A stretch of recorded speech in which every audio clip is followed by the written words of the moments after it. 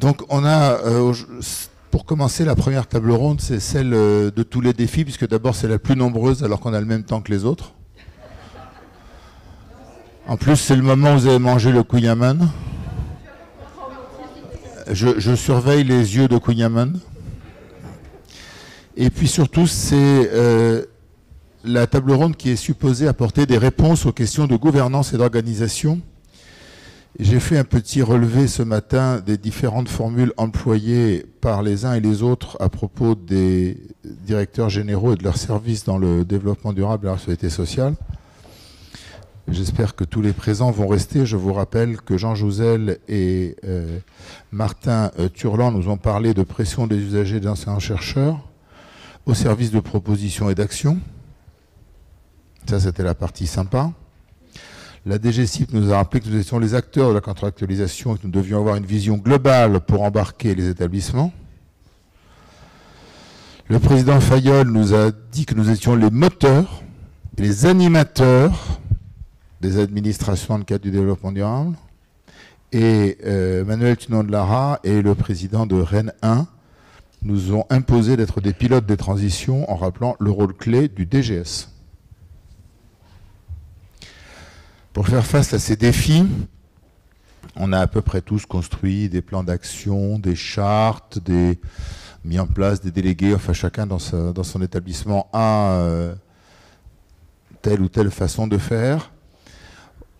On aura pour commencer l'éclairage d'un grand témoin euh, qui est Benoît Léniel, Benoît est spécialiste du changement climatique, il est correspondant du GIEC notamment. Il est également auteur d'études sur le changement climatique et les risques de l'échelle internationale et locale. Et euh, il a fait beaucoup d'études sur le secteur de la région normande, notamment la métropole de Rouen, que je salue puisque c'est là que j'y ai été titularisé administrateur territorial. Il y, a prescription. Euh, aujourd'hui, il est vice-président développement durable et responsabilité sociétale, ça tombe bien. Euh, il est également chargé de mission eau et climat auprès de, du MESRI et à la Direction générale de la recherche. Il va nous donner maintenant, euh, dans une vingtaine de minutes maximum, de manière à laisser la place au débat, une fois que vous aurez digéré le Couillaman, la vision du, du praticien euh, du développement durable et de la responsabilité sociétale, avec, euh, compte tenu de ce que je viens de vous dire de son parcours, une vision qui devrait nous emmener du contexte national, voire international, à une organisation intégrée au sein de l'unité de recherche. Bon courage.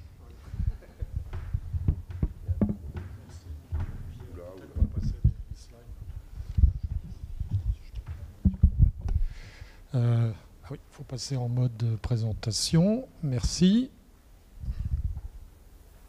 Donc, euh, comme il a été dit, hein, l'idée est de, partir du contexte national, même si vous allez voir, finalement, il y aura, vraiment beaucoup de redites par rapport aux propos de ce matin, hein, mais ça permettra peut-être de faire une synthèse. Et puis ensuite, je referai un retour d'expérience sur ce qu'on met en place à l'Université de Rouen. Alors, pour rappel, hein, euh, le développement durable et la responsabilité sociétale, c'est vraiment euh, le croisement et normalement trouver un équilibre entre trois piliers que sont l'économie, l'environnement et la société. Et comme vous le savez, hein, depuis de nombreuses décennies, l'économie a la bulle s'est agrandie et s'est écartée, si bien qu'on n'a plus cet équilibre. Euh, le développement des activités euh, humaines a conduit à de nombreuses contraintes, hein, des contraintes sur la surexploitation de nos ressources naturelles, l'accroissement des déchets, des rejets, des émissions de gaz à effet de serre avec euh, bien évidemment des conséquences sur le changement climatique, étalement urbain, bétonisation, etc. etc. Bien évidemment, tout ça détériore notre environnement avec des pollutions de l'air, du sol, de l'eau, des épuisements des ressources, destruction et fragmentation des milieux naturels et perte de biodiversité, et bien évidemment le changement climatique. Je pourrais vous parler longuement du changement climatique, euh, mais euh, je ne vais pas le faire, et je dirais de toute façon, euh, les deux semaines qui viennent de s'écouler vous montre bien à quel point il y a une urgence hein, euh, face à ce dérèglement climatique. Comme le disait Jean Jouzel, Au vu des émissions de gaz à effet de serre, on est sur une trajectoire de plus de 3 degrés, ce qui veut dire que ces événements extrêmes vont euh, être de plus en plus fréquents et de plus en plus intenses.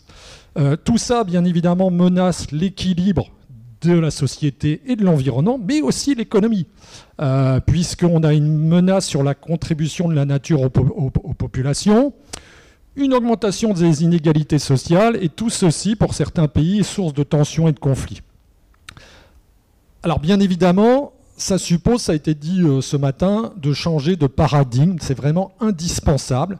Si on veut retrouver un équilibre, une harmonie entre justement développement économique, respect de l'environnement, des sociétés et de l'individu, ça suppose nous interroger dans nos décisions à la fois individuelles, mais aussi bien évidemment collectives, pour avoir des actions concrètes pour une société plus inclusive, une gestion raisonnée des ressources et la sécurité, bien évidemment, des biens et des personnes, euh, qui est euh, évidemment création, dans un sens de création de valeurs d'intérêt général et de bien-être partagé.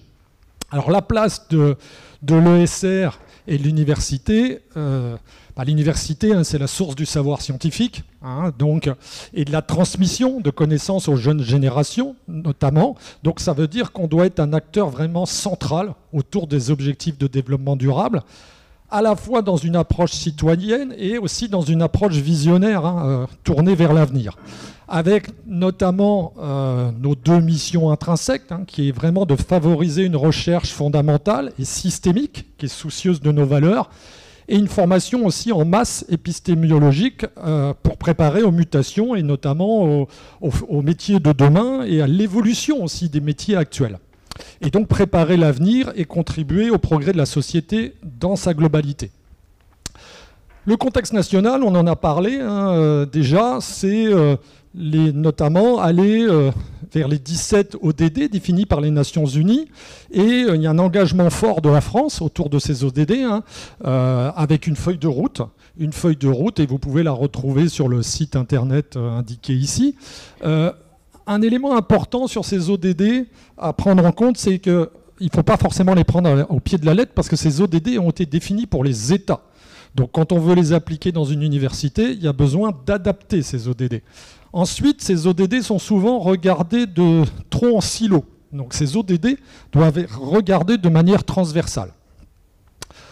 Autre élément, euh, bien évidemment la loi de programmation de la recherche, comme vous le savez, il est écrit, euh, j'ai noté ici les éléments clés, hein, que les ambitions de la science française hein, doivent répondre à ces ODD, à ces grands enjeux, hein, et au travers d'un continuum qui va de la recherche à la formation. Et il est écrit également dans cette loi de programmation que les établissements publics ayant une mission de recherche devront rendre compte de leurs actions autour de ces enjeux de transition. Autre élément important dans le Code de l'éducation, c'est l'article 41, euh, où il est inscrit, qu'on doit aller aussi vers une sensibilisation et une formation euh, de ces enjeux. Alors, on a vu ce matin déjà un certain nombre d'initiatives. Hein. Elles sont nombreuses actuellement. Alors, quelquefois, ça a été dit aussi à un moment donné, on s'y perd hein, dans toutes ces initiatives. Hein. Donc, j'en ai indiqué certaines qui, qui nous, me paraissaient importantes il y a la mission du GT Jean Jouzel hein, qui a été présentée par, par Jean Jouzel euh, ce matin, avec les deux fameux rapports hein, qui nous permettent d'avoir euh, euh, des recommandations, hein, comment sensibiliser et former aux enjeux de la transition écologique et de développement durable. Et les recommandations sont intéressantes parce que c'est des, des, recommandations à la fois pour les établissements, mais des, des recommandations également pour le ministère. on a bien évidemment le comité. Alors, un élément important, je ne me souviens plus si Jean l'a dit euh, ce matin, c'est que suite à ce rapport, va être créé un comité informel à l'échelle nationale pour qui sera un peu euh, un observatoire pour voir comment sont intégrés ces enjeux, notamment dans les formations. Bien évidemment, dans les, initiatives importantes, il y a toutes les initiatives autour du comité de la transition socio-écologique de France Université. Et puis un élément justement important, c'est notamment la reconnaissance du label des DRS euh, à l'HCRS. Euh, donc j'ai indiqué aussi le Shift Project, on en a parlé ce matin, l'UVED, euh, le grand baromètre de la transition écologique. Alors toutes ces initiatives ont pour objectif, bien évidemment, d'apporter des recommandations et proposer des outils hein, pour éclairer le débat et voir comment on peut intégrer ces enjeux dans l'enseignement et la recherche. Alors, quand on regarde ce qui est mis en place euh, au sein de l'ESR français, c'est très hétérogène finalement. Euh, j'aurais tendance à dire, à part quelques universités, euh, les actions sont souvent assez ciblées. On a parlé notamment des actions qui touchent à comment réduire nos impacts sur l'environnement. Et on en est qu'au début finalement dans l'intégration de ces enjeux en termes de recherche et d'enseignement. et ce qui est important, c'est essayer d'avoir une vision intégrée de cet ensemble et essayer de le, structurer. Alors, il y a quatre piliers finalement hein, dans la démarche hein, qui doit être structurée. On a quatre piliers hein, qui sont au centre ici euh, de, ce schéma. Le, pilier, euh, un des piliers, bien évidemment, c'est diminuer les impacts sur l'environnement. C'est notre qualité de vie universitaire qui comprend la QVT, la QVE, l'inclusion. Euh, et là, il y a beaucoup d'initiatives finalement mises en place dans les, établissements de l'ESR. Et comme je le disais, un peu moins quand même sur la recherche et la pédagogie. Pourquoi? Parce que la recherche est compliquée. Pour répondre à ces enjeux, euh, il faut faire de la recherche vraiment transdisciplinaire. De même que pour la pédagogie former les citoyens de demain, ou, formation tout au long de la vie, là aussi on a besoin de formation où on fait du transversal. Et vous savez, à l'université, on a tendance quand même à fonctionner beaucoup en silo. Euh, ça suppose aussi toute la difficulté euh, sur le schéma, c'est que euh, quand on veut mettre ça en place, il faut partager la feuille stratégique, il faut co-construire les actions avec nos parties prenantes. Les parties prenantes, c'est les directions, hein, la direction de l'URN, l'équipe de direction, mais c'est aussi bien évidemment les composantes, les services et les laboratoires. Il faut entraîner tout le monde. Et puis, ça ne peut pas se faire tout seul, ça se fait forcément avec les parties prenantes externes, et les parties prenantes à l'externe, ben, bien évidemment, on en a indiqué ici, c'est les collectivités territoriales, les entreprises, les associations, les établissements financiers, les autres universités, écoles à l'échelle nationale, internationale, les ministères, pas, simplement le nôtre, euh, les organismes de recherche et tous les réseaux pro. D'où la complexité à mettre en œuvre. Alors ça, c'était le contexte national. Maintenant, je vais euh, vous donner le retour d'expérience à l'université de Rouen-Normandie. On est une université pluridisciplinaire, donc on doit être capable de, faire ces actions transversales pour être un acteur majeur du DDRS. Donc on a euh, inscrit une déclaration de politique générale hein, qui est indiquée ici, hein. c'est pour aller vers une vision partagée de ces enjeux au sein des parties prenantes internes de l'URN, mais également en partenariat, comme je l'ai dit, avec nos parties prenantes externes pour intégrer et construire des actions hein, euh, dans nos missions.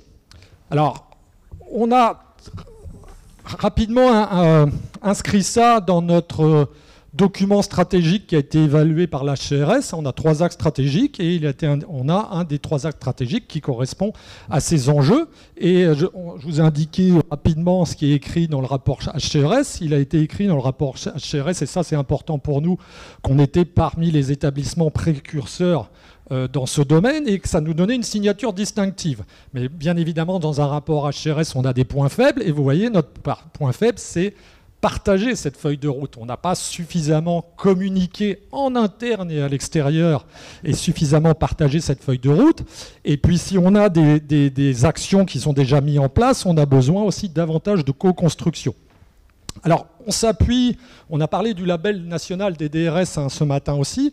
Alors, nous, ça a été euh, important ce label qu'on a obtenu en 2020. C'est compliqué hein, pour, euh, pour une université d'obtenir le label. Je dirais c'est plus compliqué que pour une école d'ingénieur. Mais c'est vraiment important d'y aller parce que ça aide à structurer. Nous, ça nous a vraiment euh, aidé à nous structurer autour de ce label. Hein. Alors ici, euh, je vous ai indiqué, bah, autour de ces labels, ça nous a permis aussi de construire notre feuille de route stratégique.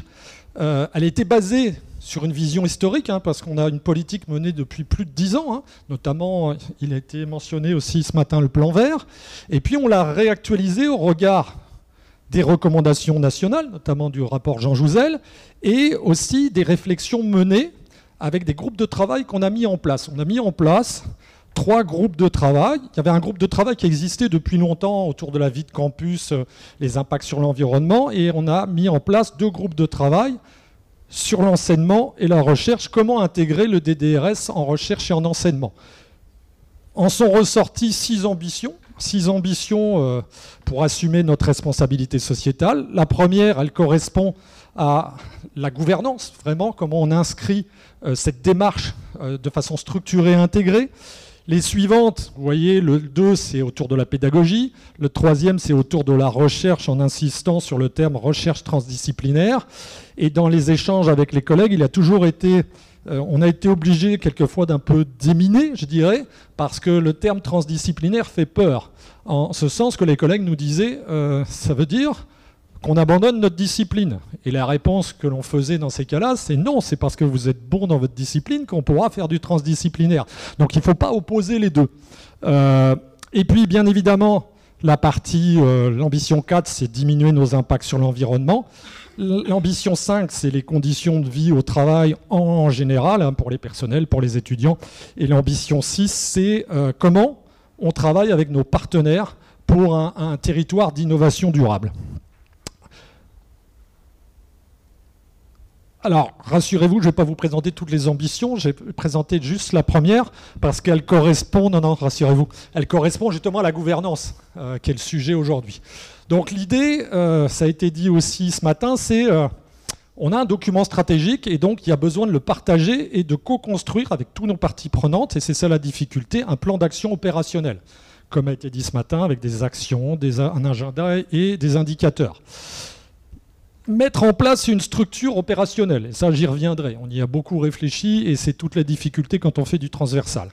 Euh, déployer aussi un dispositif de sensibilisation et d'accompagnement, parce qu'il faut accompagner nos personnels, les étudiants, dans cette démarche. Et puis ça rejoint aussi l'autre point qui est il faut avoir un plan de communication stratégique et opérationnel qu'on n'a pas suffisamment développé en interne et à l'extérieur. Et puis bien évidemment, on s'appuie, comme je le disais, sur le label des DRS sur du long terme et pas sur un one-shot.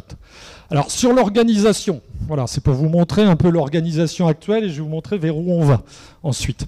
Donc on a un VP, comme dans beaucoup d'universités, un VP des DRS, une DGSA qui fait plein de choses, et notamment le DDRS. Un service DDRS avec, euh, assez conséquent, hein, vous voyez, l'université a mis des moyens hein, euh, ces dernières années sur ce service DDRS. Euh, il était tout petit, et vous voyez, maintenant on a deux ASI, un IE, un IR, un Prague, et deux CDI IE qu'on est allé chercher sur des contrats. Les trois groupes dont je vous parlais, un groupe vide campus avec 58 référents et deux groupes de travail enseignement-recherche. Pour l'enseignement, 23 référents, qui correspondent à peu près à toutes les disciplines de l'université. GT Recherche, c'est 38 référents de nos 38 laboratoires. Hein. Et ça, ça s'est fait en, concertation avec les directeurs de composantes et directeurs de labo. Ce qui nous, a permis de développer hein, cette stratégie, et puis bien évidemment en co-construction et la valider au CA. Donc ça, c'est notre organisation actuelle. Mais on s'est aperçu rapidement que euh, ce n'était pas suffisant, notamment le service des DRS qui est censé euh, appliquer la stratégie et la construire, c'est qu'on était assez limité, notamment pour tout ce qui était le partenariat euh, à l'extérieur, avec les entreprises par exemple. Et on a proposé, c'est en cours de discussion, ça sera présenté au CA, un institut, de créer un institut des transitions pourquoi Parce que cet institut des transitions mettra en œuvre la stratégie et aidera au pilotage et à la prise de décision. Et puis euh, cet institut aura pour objectif de mobiliser, accompagner, fédérer, valoriser, structurer ces enjeux pour répondre à notre vision partagée. Alors comment imaginer l'institut? C'est pas une composante, parce qu'on a beaucoup réfléchi. À un moment donné, on s'est dit peut-être une composante, mais euh, on a tout de suite compris que voilà, il y aurait des soucis avec les composantes existantes dans les discussions. Et dans un premier temps, c'est que notre service des DRS, on va en faire un service commun, dont l'objectif sera vraiment de, mettre en application la stratégie. avec les parties prenantes, euh, avec les parties prenantes internes. Puis on travaille aussi avec les parties prenantes externes à l'URN. Alors on a déjà beaucoup d'actions hein, de partenariats fortes, mais qui sont surtout avec les collectivités territoriales, régions, métropoles, avec des conventionnements. Je vous ai mis quelques exemples. La région, on a un GIEC normand. On a un GIEC sur le changement climatique. Euh, et c'est nous qui portons. C'est d'ailleurs moi qui suis le président hein, de ce GIEC. Donc c'est nous qui portons, mais en interaction avec la région. La métropole de Rouen a été créée aussi un GIEC local pour les enjeux autour du changement climatique. Et on travaille beaucoup avec la métropole autour des mobilités, tri de déchets. Donc du, partenariat très fort avec les collectivités territoriales. Le souci, comme je vous disais, c'est qu'on a aussi rencontré... Euh, beaucoup d'entreprises euh, pour voir quels pouvaient être les liens. Et on s'est aperçu, bah, si on veut élargir notre partenariat, il n'y a qu'une solution possible, c'est de créer une fondation. Donc on va aussi vers la création d'une fondation euh, pour justement tout ce qui est les financements ciblés plus sur la recherche et, la pédagogie, en lien euh, donc avec une coloration qui est atténuation, adaptation et culture du multirisque. Le service commun, c'est pour vous présenter, bah, le service commun, ce sera le service des DRS qui devient un service commun. Et euh, pour définir la stratégie, on a mis en place une commission. Hein, et vous voyez, on va retrouver les quatre piliers en miroir. Et la stratégie est définie dans cette commission Turn. Et bien évidemment, validation en CA. Et ici, pour terminer, on retrouve les quatre piliers. Un élément important, vous voyez, en parallèle, c'est qu'on a mis en place un centre de ressources, parce que quand on veut accompagner euh, les personnels, les étudiants, il est important d'avoir un centre de ressources. Donc on est en train de mettre ça en place avec un financement de la métropole. La communication, c'est notre site institutionnel. Et puis, euh, on a aussi un site spécifique qui s'appelle le site Turn. Et puis, tout ce qui est inscrit ici dessous, je ne vais pas tout faire, hein, bien évidemment, c'est toutes nos actions. Hein. c'est toutes nos actions, juste quelques-unes. Vous voyez, en enseignement, à la rentrée, on a un module justement euh, qui va être dispensé autour des enjeux de développement durable à tous les étudiants de première année. C'est un peu un casse-tête, mais bon.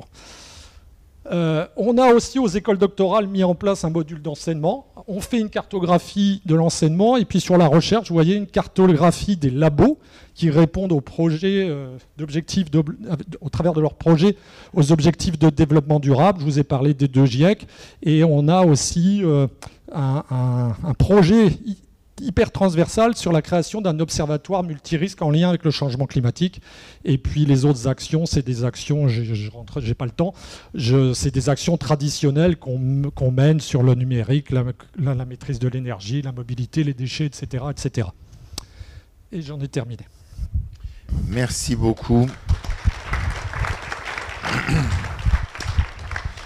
Vous êtes plié à l'exercice dans un laps de temps limité de faire ce début de rétrécissement euh, vers le local. Et nous allons avoir maintenant...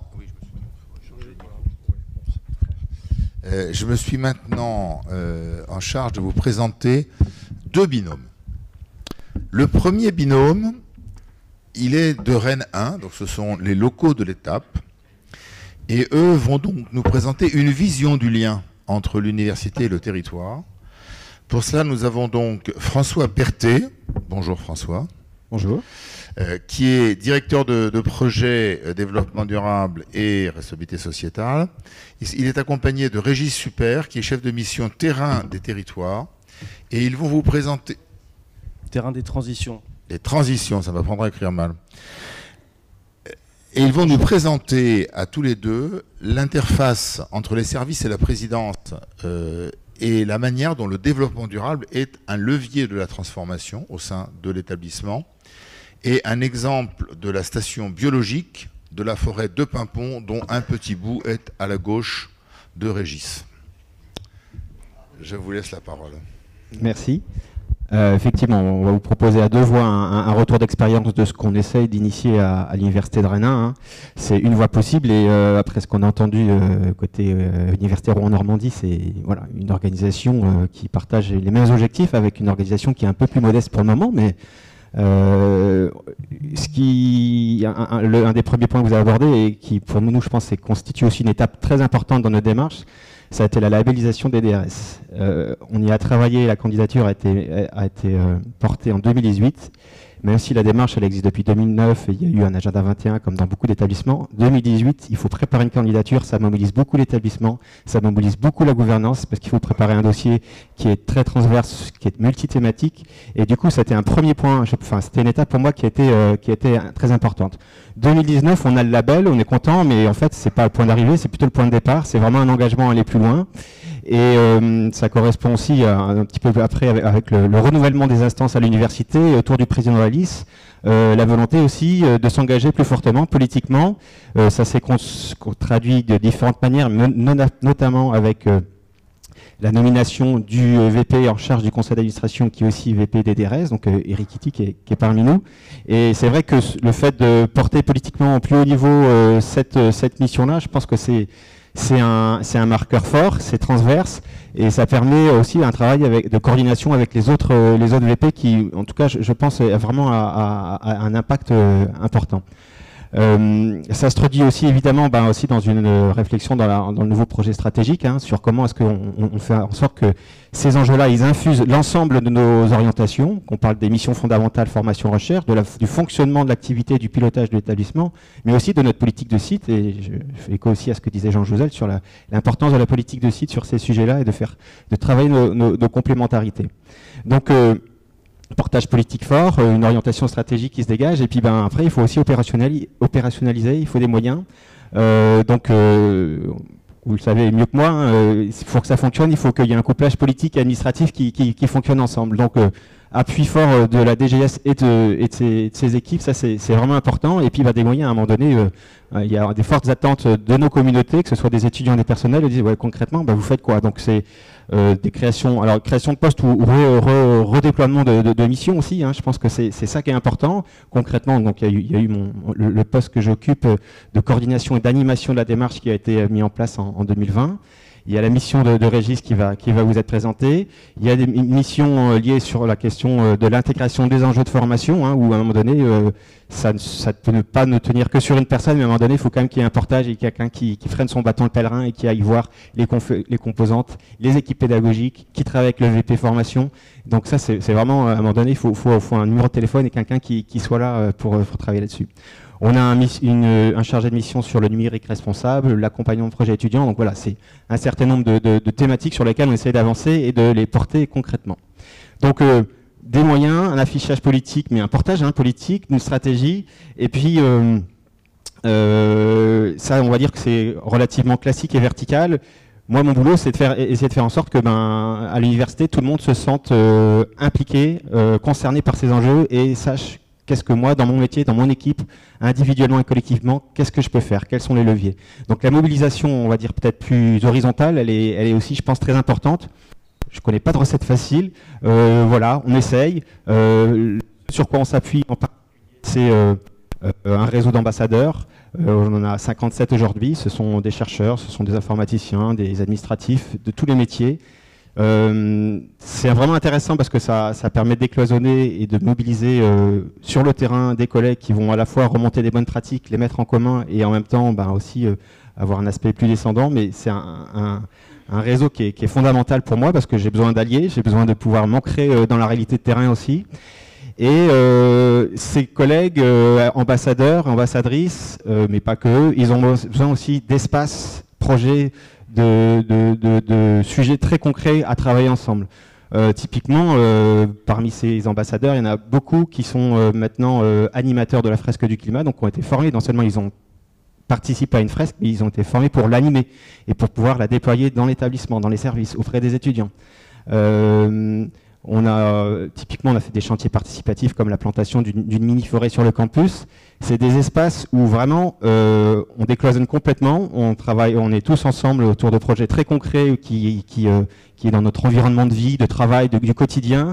Et on est euh, comment dire, ben c'est des, des petites actions, mais sur des objectifs qui sont effectivement bien, qui nous dépassent, mais qui permettent d'être très concrètement dans le dans le faire. Et ça, c'est vraiment quelque chose qui permet de, mobiliser les collègues, mais ça permet aussi euh, d'identifier parmi les gens qui se mobilisent euh, des personnes ressources qui ont des connaissances, qui ont des compétences et qui vont être euh, des accélérateurs de cette transition. Et je pense que ces actions-là, il faut vraiment les encourager. Vous, DGS, mettre que, le, que les, les, aussi les chefs de service ils se sentent autorisés, de, que les, les, personnels de leur service ils s'impliquent en tant qu'ambassadeurs, en tant que personnels qui vont s'engager pour mettre en place une action dans le cadre du forum des DRS, etc. C'est euh, vraiment, je pense, des, des, euh, des, des temps d'action qui vont euh, être aussi des lieux où concrètement se fait la transformation, la mise en réseau et, le, et le, les collaborations. Alors bon, moi j'ai un ancien pro, passer plutôt de communicant, donc je ne saurais que euh, vous encourager aussi à faire en sorte que les directions de la communication se saisissent vraiment de ces sujets. Euh, parce que évidemment, euh, il faut faire et il faut rendre visible aussi, c'est nécessaire. on, a des résultats, il faut savoir les mettre en avant. Il y a des acteurs, il y a, les initiatives, ça foisonne de partout, donc c'est important de les mettre en avant. Et c'est aussi important, et là c'est pas facile, mais de réussir à mettre ça en, récit aussi pour donner aussi à voir comment on est en train de construire aussi un futur qui est pas compliqué, mais qu'il faut qu'on va construire ensemble, qui doit nous inspirer. Et donc là, je pense qu'aussi ce travail de, mise en récit, de, de, se projeter euh, dans, le, dans, dans, le, futur, c'est un travail qui est, qui, est, qui est, vraiment important.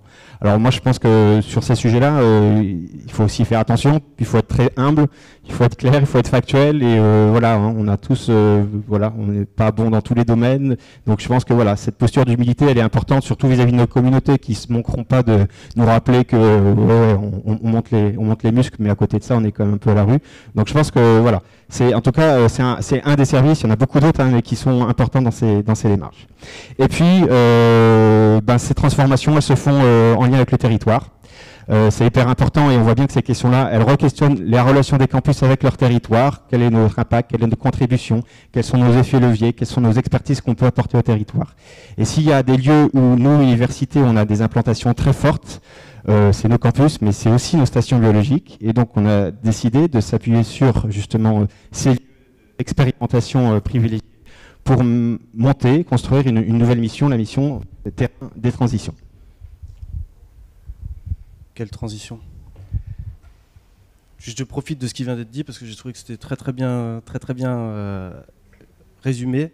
Euh, donc moi je suis Régis Super, responsable de la mission Terrain des Transitions et j'ai aussi la lourde tâche de vous présenter à la fois une grand-mère et une nouveau-née. C'est la grand-mère, c'est la station biologique de Pimpon qui existe depuis plus de 50 ans. Et la nouvelle-née, c'est euh, voilà, le faire part de naissance, c'est la mission Terrain des Transitions. Euh, donc euh, simplement, moi je suis arrivé comme médiateur scientifique après plutôt un passé de, chargé de mission et d'éducateur à l'environnement à l'université, dans une station de terrain. C'est quoi une station de terrain?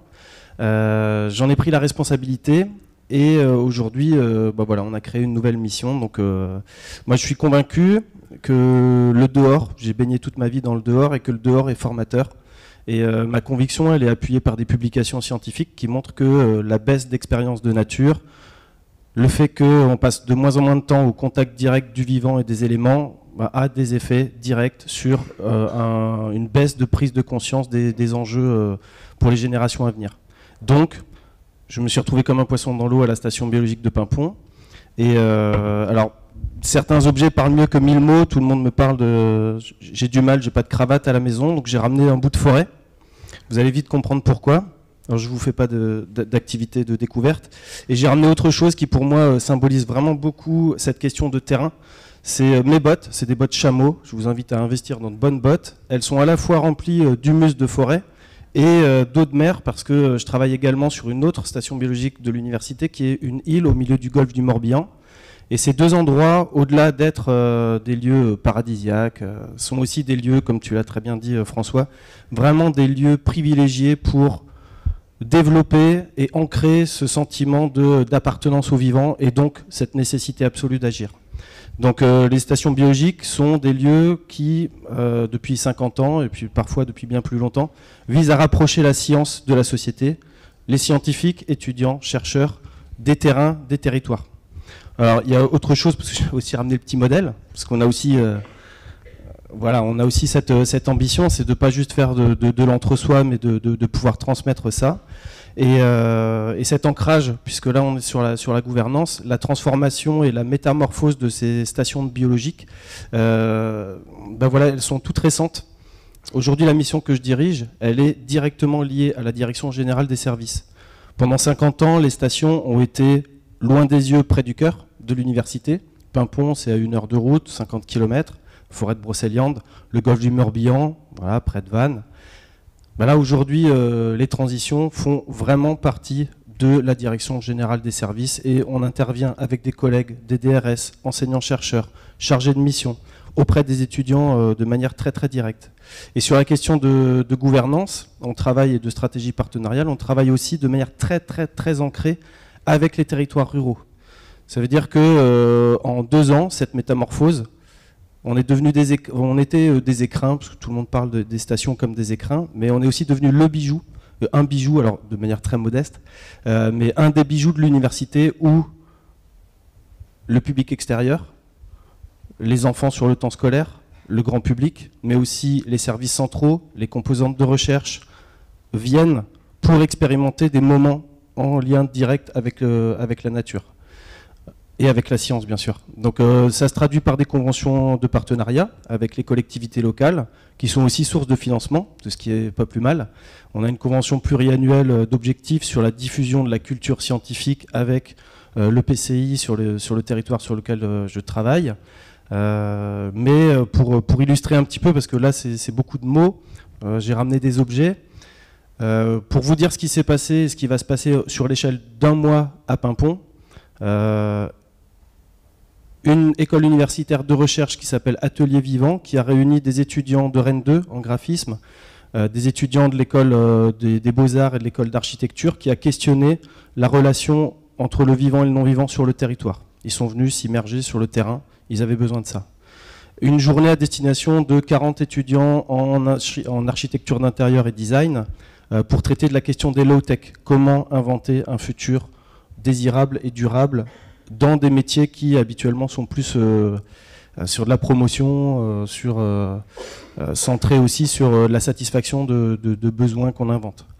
Euh, dans les autres exemples très concrets, on a aussi le lien euh, qu'a souligné M. Jouzel tout à l'heure entre euh, le scolaire et le supérieur. On est référent pour la région des aires terrestres éducatives.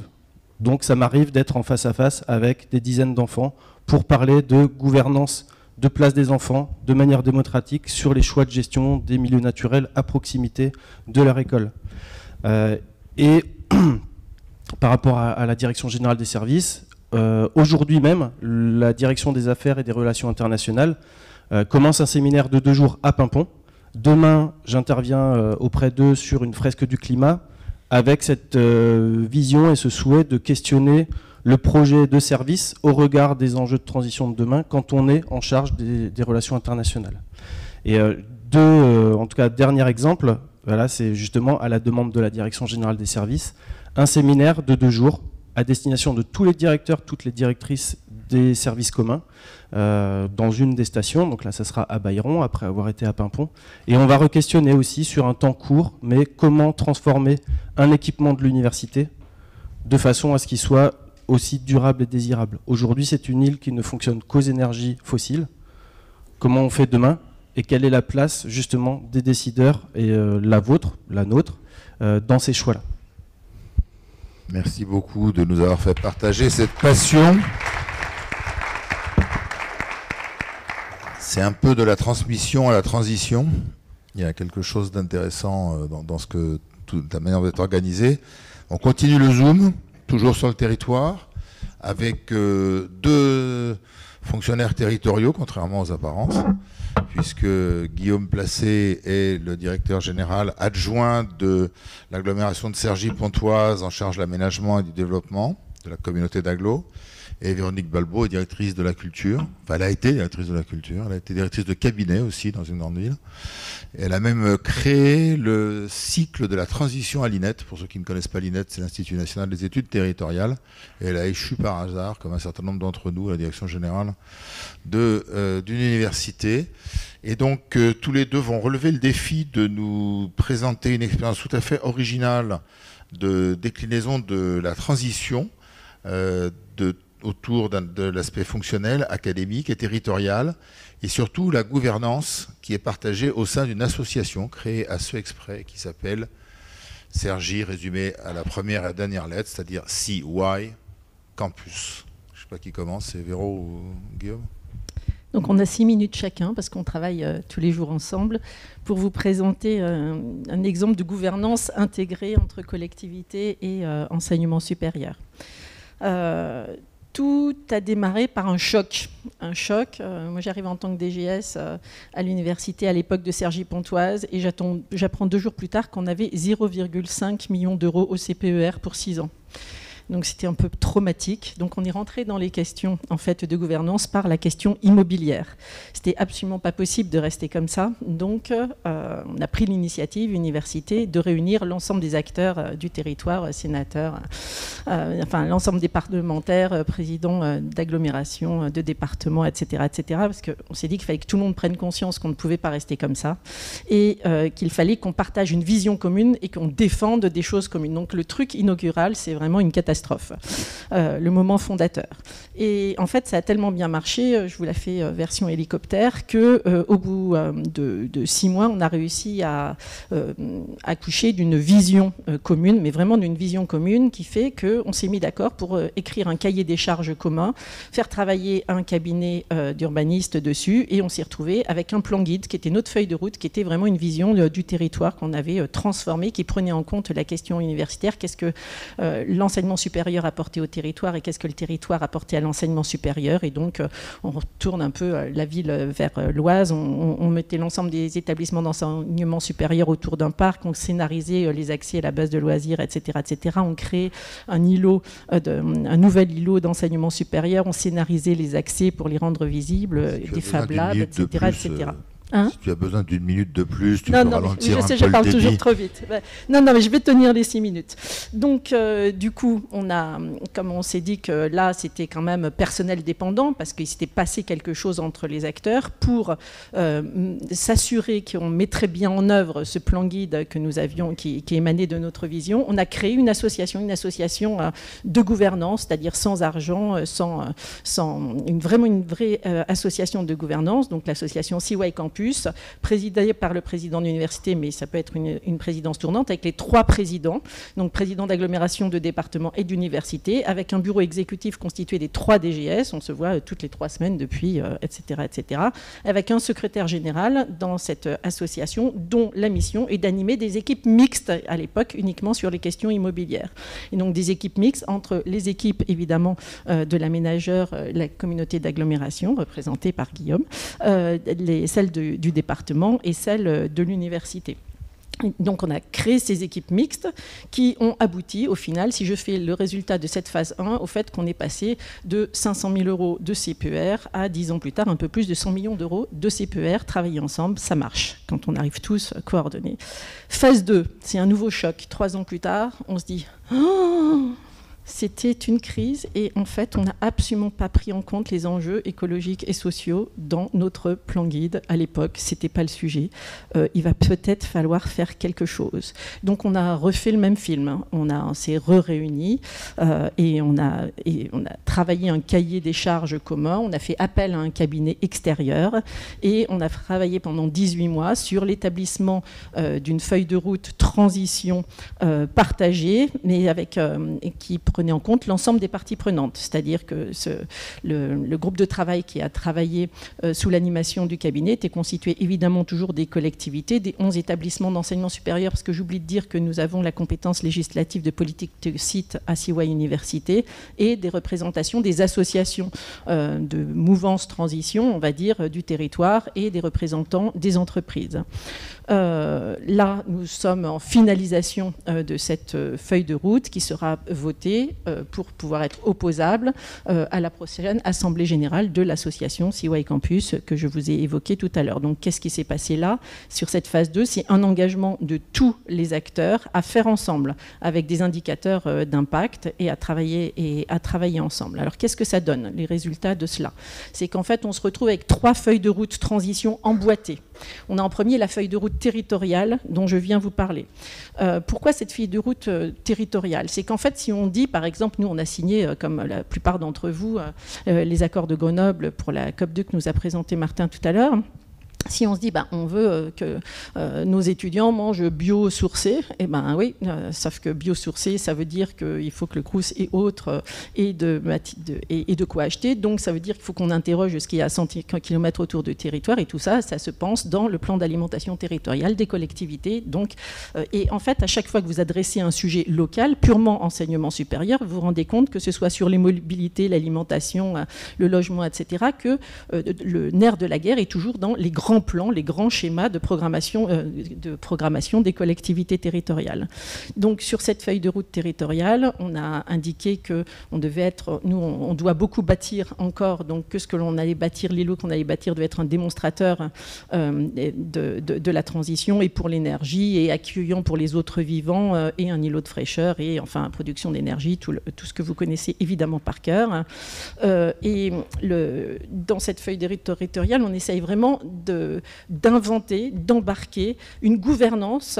Euh, qu'est-ce que c'est qu'une gouvernance qui embarque une action systémique? Donc les grands plans des collectivités territoriales jusqu'à leur traduction, qui nous permettent, nous, de tenir des engagements euh, relatifs euh, au, 17, au 17 ODD sur nos, territoires. Donc dans cette feuille de route transition, on embarque le PCAET, pour ceux qui ne connaissent pas les acronymes, les plans locaux d'urbanisme, les plans d'alimentation territoriale, etc.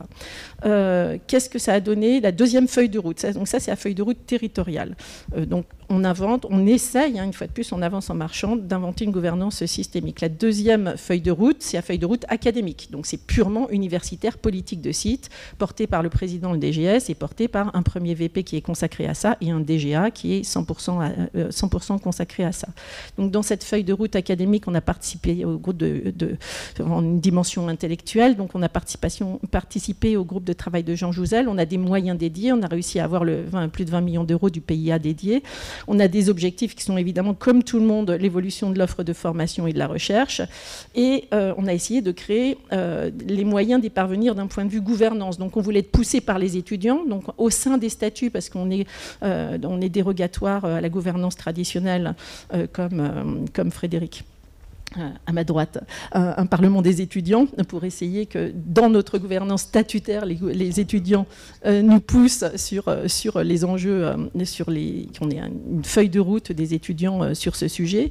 On a créé un, institut académique comme, comme, comme Rouen des transitions qui soit des ressources pour, enfin c'est vraiment là les enseignants qui, qui, qui, puissent essayer d'emporter une dynamique auprès des autres enseignants, une un centre de ressources euh, qui, enfin, cette fois-ci au sein euh, des, directions euh, administratives, avec une vingtaine d'ingénieurs pédagogiques qui puissent accompagner l'ensemble des formations, que tout le monde travaille sur des projets Good for Life, de façon à ce que les étudiants puissent avoir au sein de leur formation une expérience dans ce, dans ce domaine. Une école de design, donc design pas au sens esthétique du terme, mais qui adresse toujours les finalités.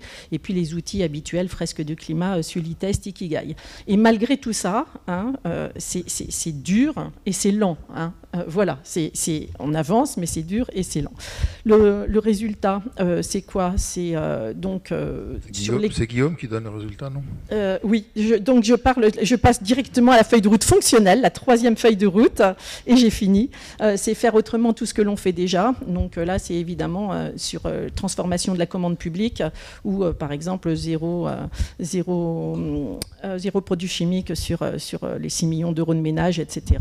Les espaces verts et papier, comme fait tout le monde, sobriété énergétique avec Intracting, production d'énergie, tri, et surtout un travail avec des designers de, vraiment, vraiment, pour interroger les 980 agents sur ce qu'ils souhaitent et peuvent faire à leur niveau sur les pratiques. Et maintenant qu'on a cette feuille de route des 980 agents qui ont, qui ont répondu pendant six mois à ces questions, on essaye de créer le laboratoire d'innovation qui puisse accompagner la mise en œuvre. Voilà. Perf.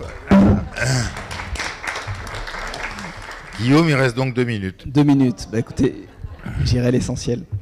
Euh, moi, je suis arrivé il y a à peine un peu plus d'un an donc à, l'agglomération de Cergy-Pontoise. Une des premières réunions que j'ai faites, effectivement, c'était une visio. On était en plein Covid. Euh, et donc avec Véronique et, ma, directrice générale, euh, et on devait parler de transition. je pensais naïvement qu'on allait parler voilà, rénovation énergétique du, patrimoine universitaire, éventuellement mobilité des étudiants, questions académiques. Et puis, je me suis retrouvé dans une visio où on a parlé projet alimentaire territorial, où on a parlé plan climat, bien entendu, on a parlé biodiversité, on a parlé artificialisation des sols, et puis quand, je dis qu'on en a parlé, on n'était pas juste euh, en train de consulter l'université comme on consulte habituellement les partenaires, on était vraiment en train de travailler, co-construire, être d'accord. Euh, bon. Je sors de la visio et je, je dis à ma, directrice générale, mais c'est quoi ce truc quoi? A priori, j'ai été recruté pour ça quand même. C'est un peu notre job, c'est nos compétences. La mobilité, l'aménagement de l'espace, c'est nous. Bon. Et là, elle m'a expliqué, euh, et puis, euh, dans les semaines qui ont suivi, on s'est connus, on a appris à travailler ensemble, et puis on a fini par, euh, j'ai fini par, par, adhérer finalement à ce qui est un peu une expérience. L'expérience qui est de, de, travailler ensemble cette transition, et quand je dis ensemble, c'est pas côte à côte, c'est pas en même temps, c'est pas parallèlement, c'est vraiment la construire ensemble en essayant d'être un peu à l'échelle locale, un peu une avant-garde, on va dire, de cette transition pour le, pour le territoire, en essayant d'aller un petit peu plus loin que ce qu'on pourrait faire chacun isolément. Alors, les résultats, ils ont été donnés, donc je vais juste me concentrer sur nous, pourquoi, quel est notre intérêt, d'une certaine manière, nous, agglomération, d'avoir, euh, de, faire ce travail, d'aller aussi loin dans ce travail avec l'université, d'une certaine manière, se dessaisir aussi en partie de notre influence, de notre pouvoir, de notre, euh, de notre compétence. Enfin, se dessaisir, le mot est un peu fort, mais c'est quand même un peu l'esprit. D'abord, bien sûr, euh, parce que l'université nous apporte mais ça c'est classique, une capacité de matière grise, une, compétence académique. Euh, l'université nous apporte aussi son, poids sur le territoire. Hein. Pontois, c'est 215 000 habitants, c'est 30 000 étudiants, c'est 3600 enseignants-chercheurs, donc c'est un, poids bien sûr considérable pour nous. c'est un poids aussi financier. Hein. Le, CPER qui va être bientôt voté, c'est quand même plus de 100 millions d'euros pour l'enseignement supérieur sur le territoire de Pontois. 100 millions d'euros, c'est l'équivalent de l'ensemble des engagements d'investissement nouveaux de l'agglomération pris pour l'ensemble du mandat qui vient, donc pour les six ans qui viennent. Donc euh, l'université, c'est aussi un poids financier important, c'est un poids aussi urbain. Euh, un des principaux défis, je m'occupe d'aménagement à Cergy-Pontoise, un des principaux défis, c'est d'assurer le, recyclage urbain du quartier du Grand Centre de Cergy. Vous connaissez Cergy, ville nouvelle, et le quartier, le premier quartier créé, euh, c'est celui qui est aujourd'hui le cœur de ce campus de Cergy-Pontoise, et donc on a un quartier qui a aujourd'hui 50 euh, ans et, qui arrive euh, en partie en obsolescence. On a des friches comme ça, parce que le marché du bureau en plus marche moins bien. Et donc euh, aujourd'hui, un des gros leviers, c'est l'université, c'est le développement universitaire. Quand on a une opération un peu compliquée à sortir pour rénover une tour de bureau en logement, le produit qui nous permet de sortir l'opération, c'est du logement étudiant. Quand on a des équipements, des services à fournir et des lieux qui s'y prêtent, on se tourne naturellement vers le développement universitaire parce qu'on sait qu'il y a une dynamique. Donc c'est un levier euh, évident pour le développement du territoire et pour sa transition et en l'espèce pour le recyclage entier d'un quartier. Euh, autre raison effectivement de notre euh, intérêt à travailler très étroitement avec l'université. autre intérêt, c'est votre capacité aussi à animer des partenariats et à mobiliser des financements. des partenaires, pour ne prendre qu'un exemple, du projet CY Génération qui mobilise plus de 20 millions d'euros du PIA sur un programme de plus de 75 millions d'euros. Ce sont des volumes forcément important à l'échelle d'une agglomération euh, comme la nôtre. C'est aussi des solutions euh, euh, pratiques, techniques, financières intéressantes. Un exemple qui date de la semaine dernière, on a un projet de, de, micro-forêt urbaine sur un, délaissé justement dans ce quartier du Grand Centre. On a plein d'entreprises qui sont prêtes à nous verser de l'argent parce qu'ils trouvent ça bien de, au titre de leur responsabilité sociale, effectivement, de financer euh, la plantation de ces arbres, sauf que nous, euh, c'est très compliqué. Je vais voir les juristes chez moi, je vais voir les financiers, c'est très compliqué, etc. On a, on a trouvé une solution, euh, c'est un partenariat avec l'université, un partenariat avec la fondation, qui va être le support de, de, ces financements privés, de manière à ce qu'on puisse la construire ensemble avec l'outil juridique et financier de la fondation Seaway. et puis, peut-être pour quasiment terminer, pour, pour être pour être court, je pense que euh, plus fondamentalement, euh, plus fondamentalement encore, euh, je pense que vous avez au niveau de l'université cette capacité à être à un niveau d'ambition qui est difficile à atteindre pour nous. Pourquoi? Je crois que cette, cette transition écologique, on en a conscience, c'est une révolution. Et tous les marxistes-léninistes vous le diront, pour une révolution, il faut une avant-garde. Bon. Et Et l'avant-garde, pour qu'elle fonctionne bien, il faut qu'elle soit au devant de la base, mais pas trop loin non plus, d'une certaine manière. Il y a une bonne distance à trouver. Et vous avez un public au niveau des universités, le public étudiant, les nouvelles générations, qui, même si euh, Jean Jouzel en parlait, il y a encore beaucoup de travail à faire, vit quand même, voilà, est né avec euh, ces sujets écologiques, vont vivre demain avec 2 degrés de plus, et sont euh, vraiment attachés à ce que dans les programmes d'enseignement, dans les institutions, quand ils s'inscrivent dans une université, on ait ces niveaux de valeur, ces niveaux d'ambition, et c'est, je crois, une exigence qui vous apporte fortement. pour nous, c'est un petit peu plus compliqué. Un élu, euh, quand on a un projet d'aménagement et qu'on explique que, voilà, euh, euh, monsieur le maire, on n'est pas très loin de la gare RER, e il faudrait être, réduire le nombre de places de stationnement, favoriser la mobilité douce. Bon, bien sûr, il, a, il essaie d'être responsable, il, essaie d'être ambitieux, mais il sait aussi que sa population voilà, n'est pas forcément encore au, au, niveau de conscience attendu et quand vous faites une réunion publique dans une commune, le sujet qui vient tout de suite, c'est le stationnement. Il manque des places de stationnement, quel que soit le projet d'aménagement que vous faites. Donc ça pour dire que d'une certaine manière, en travaillant euh, entre l'université euh, et euh, l'agglomération, et donc notamment les élus de l'agglomération, c'est aussi s'engager, s'obliger d'une certaine manière à avoir un niveau d'ambition peut-être supérieur. C'est une forme de contrainte externe qu'on se donne en se disant, voilà, vous l'université, vous serez de toute façon, je pense, plus loin que nous parce que vous avez besoin de l'être. Et donc s'arrimer d'une certaine manière à, à cette ambition universitaire, c'est pour nous une manière d'être sans doute plus ambitieux. Voilà. Merci beaucoup.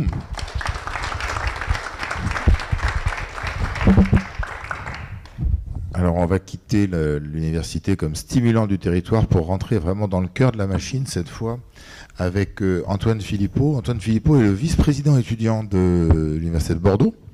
Il est... Oui. J'ai entendu non. Qui a dit non? Je déteste qu'on me dise non. D'un des campus de l'université de Bordeaux. Merci. Il, il est aussi créateur d'entreprise. Et euh, il a de nombreuses expériences puisqu'il est en césure de master. Et on lui a demandé de venir témoigner aujourd'hui de différents points de cette expérience. Donc évidemment le développement durable, la responsabilité sociétale dans la vie de campus, les actions de la vie associative et l'exemple des étudiants ambassadeurs. Voilà, vaste programme pour 10 minutes. Ça va le faire. Euh, bonjour à, toutes et à tous. Effectivement, quelques éléments de, contexte. Euh, sur effectivement sur ce public étudiant, ça a été rappelé ce matin et c'est extrêmement vrai, c'est extrêmement hétérogène et euh, cette pression des étudiants, elle n'est pas non plus sur l'ensemble des étudiants. Ça, on le voit vraiment. On a un niveau de sensibilisation et d'engagement du public étudiant qui est très disparate entre les étudiants, entre les niveaux aussi d'études, entre certaines années de licence, de master, etc. Et même plus généralement entre leur comportement qu'ils vont avoir chez eux ou en dehors de l'université et les comportements qu'ils vont adopter sur l'université. Donc on a vraiment une vraie différence euh, sur ce public étudiant à l'université et malheureusement c'est plutôt en défaveur de nos sites universitaires. Un exemple très précis par exemple sur les déchets, on se rend compte qu'ils sont plus enclins à euh, mieux gérer leurs déchets chez eux que sur le campus. Donc on a vraiment des exemples euh, où malheureusement c'est plutôt au, profit de ce qu'ils font chez eux et pas à l'université. On a tout de même quand même beaucoup d'attentes euh, des étudiants sur ces questions, euh, sur ces questions de transition environnementale, notamment sur des filières où l'étudiant se questionne beaucoup. On l'a vu hein, très récemment avec les discours à la fin des, des, diplômes des grandes écoles. On l'a aussi, nous, à l'Université de Bordeaux, sur certaines filières, notamment sur l'aéronautique ou des filières de chimie, sur des filières qui, en fait, ont un gros impact environnemental et où les étudiants ont des vraies attentes sur ben, j'ai envie de travailler dans ce métier, mais concrètement, je veux aussi être en phase avec les enjeux. Euh, et on a, et ça a été très bien rappelé ce matin par Monsieur Jougel, un vrai biais des étudiants dans la perception euh, des enjeux des actions. Aujourd'hui, ce qui ressort au niveau des étudiants, à chaque fois qu'on évoque le sujet, c'est quelque chose de très palpable. C'est sur le campus la gestion des déchets, les espaces verts. Et finalement, quand on regarde les bilans carbone de, nos établissements, c'est pas là-dessus qu'on a le plus gros levier. Ça va être sur les mobilités, sur les déplacements en avion, sur les déplacements de tous les jours. Et donc finalement, les étudiants n'ont pas forcément, et c'était très bien résumé ce matin par M. Jouzel, euh, cette vision sur concrètement quel est l'impact. Il reste encore quelque chose de très terre à terre. Donc là, il y a aussi un vrai travail de sensibilisation pour que euh, les attentes des étudiants finalement bah, montent au niveau euh, bah, qu'on peut avoir et qu'on peut partager au niveau des, directions des établissements. Au niveau des associations, euh, au niveau de la vie de campus, alors je pense que le périmètre de la vie de campus, c'est clairement l'un des périmètres les plus simples à faire évoluer euh, par rapport à la formation, à la recherche, moins d'acteurs, euh, voilà, donc une, facilité peut-être aussi, plus d'implication des étudiants. Donc c'est un périmètre qui évolue plus vite. pour prendre un exemple très concret, l'Université de Bordeaux, nous on a maintenant des formations obligatoires pour nos associations sur des thématiques par exemple de développement durable, d'éco-responsabilisation de leurs événements, sur des thématiques de prévention contre les violences sexistes et sexuelles, mais on va également les accompagner sur euh, du financement, du surfinancement, en fait, enfin, des surcoûts euh, liés à l'éco-responsabilisation de leurs événements euh, sur les différents financements qu'ils peuvent avoir. Donc aujourd'hui, ça, ça amène effectivement nos associations et le périmètre de la vie de campus plus généralement à être peut-être un petit peu plus en avance parce qu'il avait certaines facilités. Mais, et là-dessus, je voudrais vraiment vous sensibiliser là-dessus au niveau des étudiants on a côté établissement cette volonté euh, d'avoir un maximum d'étudiants et étudiantes qui participent, qui s'engagent, mais tout ça, ça passera pas sans une vraie dynamique globale et une vraie valorisation de l'engagement. C'est-à-dire que vouloir un étudiant ou un groupe d'étudiants juste pour un GT en one-shot, ça ne fonctionnera pas. Et si en fait les étudiants ne répondent pas, du moins c'est ce qu'on constate hein, sur notre université, je pense que c'est un constat partagé. Si on a cette difficulté, ça ressortait dans ce que vous nous montrez la CTES ce matin, justement sur le fait de réussir à engager la communauté étudiante c'est parce qu'il faut réussir à le faire de manière globale, structurante et le valoriser au sein des maquettes et pas simplement sur des one-shots quand ça arrange tel ou tel service. Ça, c'est un petit peu, je pense, l'enjeu partagé qu'on a de se dire comment est-ce qu'on arrive à les inclure euh, avec une vraie dynamique et pas sur, euh, sur du coup par coup.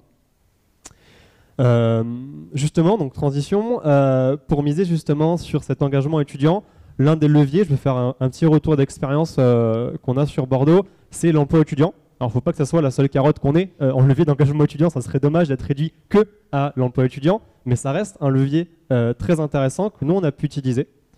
À la suite d'une signature euh, de la feuille de route transition de l'Université de Bordeaux, qu'on a nous depuis décembre 2020, qui reprend les éléments du label des DRS, qui reprend également l'accord de Grenoble, qui va plus loin sur certains points, on a mis en place une équipe de 10 emplois étudiants qui sont répartis sur l'ensemble de nos campus. Ils ont 200 heures sur l'année euh, moi, je me suis occupé, donc cette année, c'était la première année d'expérimentation. Je les ai coordonnés cette année avec des missions, trois missions principales, principalement de la médiation de pair à pair.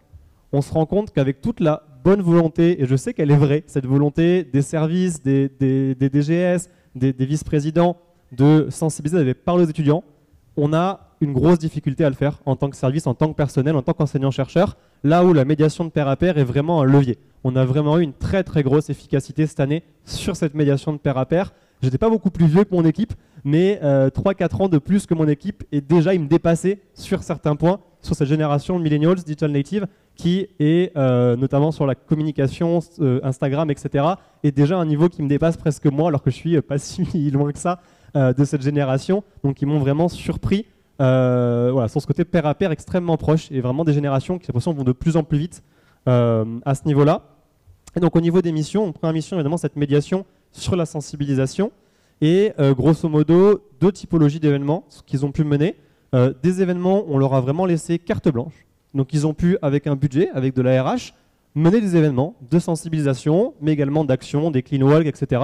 sur les campus. Et là, c'est vraiment des événements qu'ils ont pu, euh, ils l'ont créé de A à Z. On leur a laissé le temps, donc les heures RH pour le faire, et le budget derrière et certains événements également établissements où on avait des politiques d'établissement de se positionner sur tel ou tel événement ou co-construire des événements avec des partenaires et sur lesquels on a évidemment euh, proposé à nos étudiants, ambassadeurs, ambassadrices de euh, participer euh, pour l'université à ces événements. Et il me reste deux points. Justement, ça nous a aussi permis, ces ambassadeurs, ambassadrices, de les faire participer à nos GT, à certains conseils. On a évidemment des conseils dans lesquels on a des élus, mais en parallèle de ça, on sait que quand on arrive à un côté très opérationnel, très terrain, souvent on n'a pas des élus, c'est plutôt des groupes de travail avec des appels à volontaires. Et là justement, ça nous a permis d'avoir ben, ces étudiants qui étaient disponibles, motivés, avec une certaine expertise à force, parce qu'on a pu aussi les former sur la complexité euh, d'une université, comme nous on peut la connaître à la taille de notre établissement, et donc pour que nos étudiants puissent aller participer à CGT, où souvent on avait peu, voire pas de participation étudiante. Le dernier point euh, sur lequel je souhaitais vraiment insister, et sur lequel je pense que les étudiants ont beaucoup d'attentes, ils vont être très vigilants sur le greenwashing. Euh, a fortiori, les étudiants qui sont déjà engagés sur la thématique. Plus ils vont être engagés sur la thématique, plus ils vont avoir d'attentes, évidemment, plus ils vont être vigilants euh, à ce qu'on leur présente et à ces grandes feuilles de route. Il faut bien s'imaginer que pour un étudiant euh, un projet qui prend plus de deux mois, c'est long. Donc imaginez que tous nos projets à nous sont extrêmement euh, longs. C'est vraiment un temps universitaire qui est imaginé à l'échelle d'un semestre, voire d'une année. Le pluriannuel n'est pas dans leurs agendas. Et donc on a un vrai enjeu à être capable de communiquer sur cette complexité, sur l'inertie qu'on va avoir dans nos différents établissements, et euh, sur comment est-ce que justement ces feuilles de route ne restent pas que des feuilles de route ou que des schémas directeurs. On a quelque chose à l'Université de Bordeaux qu'on a mis en place, qu'on expérimente depuis un an, qui s'appelle aussi le CTES. Alors c'est pas exactement le même acronyme, mais euh, nous c'est le Conseil des transitions environnementales et sociétales. On n'est pas très très loin euh, au niveau de l'acronyme. C'est un conseil qui est indépendant mais statutaire. On a à la fois des membres experts qui ont candidaté, qui proviennent des enseignants-chercheurs, des personnels de l'université et des étudiants, et également des étudiants tirés au sort, qui se réunissent plusieurs fois par an pour évaluer la politique et l'engagement de l'établissement. Donc en fait, c'est un conseil qui rend un avis qui est public, donc qui est partagé après à l'ensemble de la communauté sur est-ce que l'université a atteint ses objectifs et est-ce que les objectifs de l'université sont à la hauteur des enjeux. Et donc ça, c'est un organe qui nous permet de venir dire, euh, ben, du coup moi je suis en tant que coordinateur, je suis dans cet organe-là, et ça nous permet d'être extrêmement critique puisqu'on est indépendant de euh, la direction. C'est un organe dans lequel ne siège pas euh, la direction, mais par contre on est quand même statutaire au niveau de l'université et on peut du coup rendre un avis positif, négatif, avec des points à, améliorer sur justement ben, la position de l'université par rapport à ses engagements et par rapport aux enjeux. Donc ça, je pense que c'est un bel exemple euh, d'outils entre guillemets anti-greenwashing ou du moins qui permettent de vérifier euh, les engagements pris. Merci beaucoup.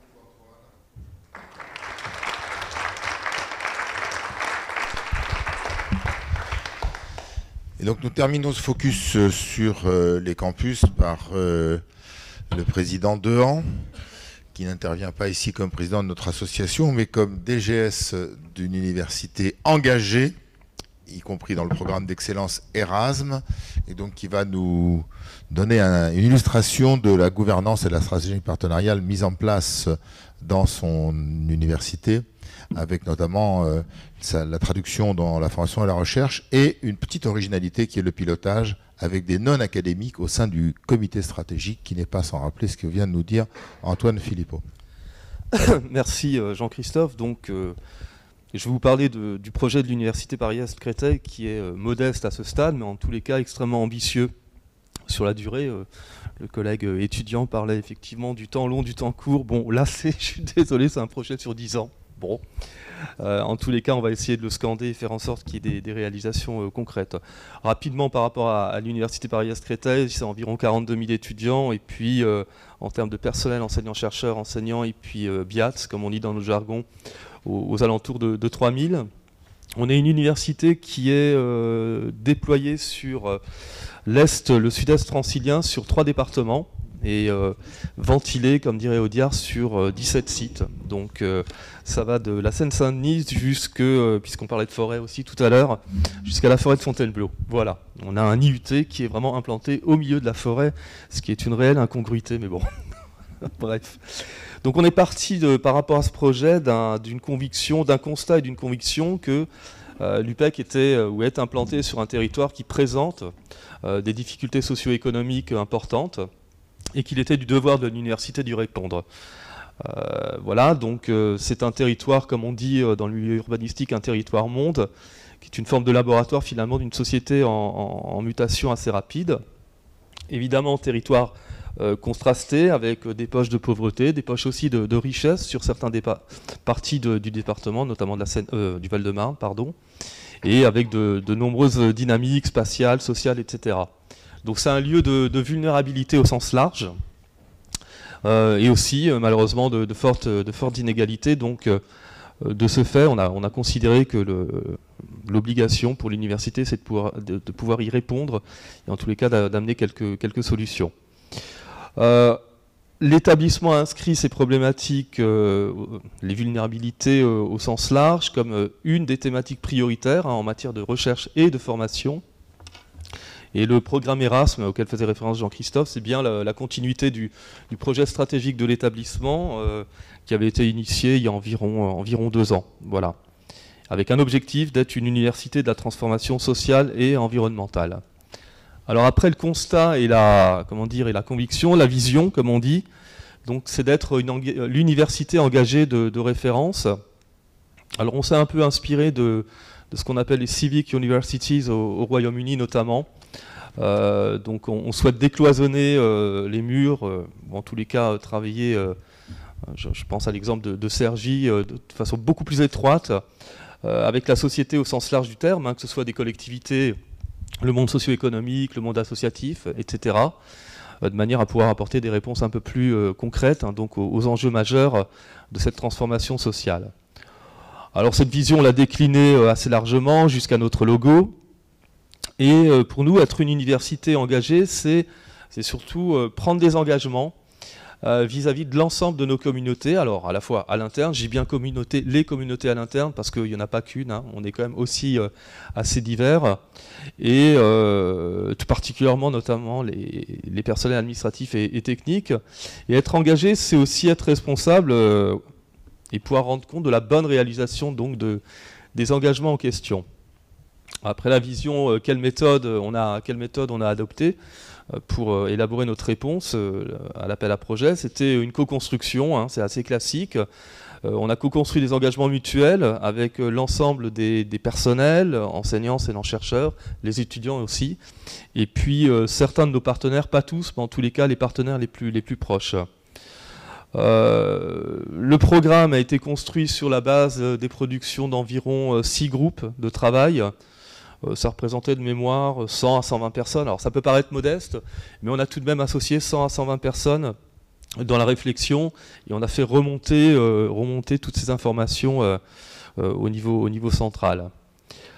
Donc euh, l'intérêt euh, pour, euh, en termes de méthode, donc co-construction, on, va tenter de renforcer cette relation de confiance entre les acteurs du territoire.